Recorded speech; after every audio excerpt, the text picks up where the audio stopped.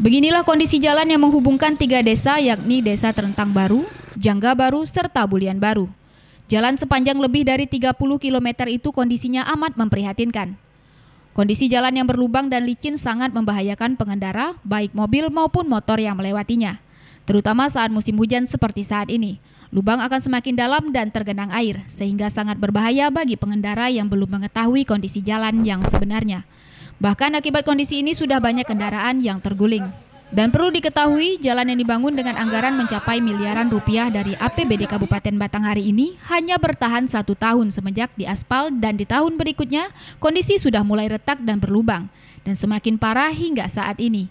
Akan tetapi pemerintah daerah belum juga bergerak untuk memperbaikinya.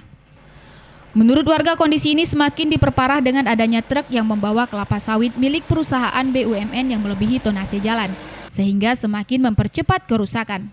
Warga berharap pemerintah segera memperbaiki kondisi jalan ini dan menegur perusahaan yang bersangkutan agar truk yang membawa sawit tidak lagi melebihi tonase yang telah ditentukan, sehingga aktivitas warga semakin lancar.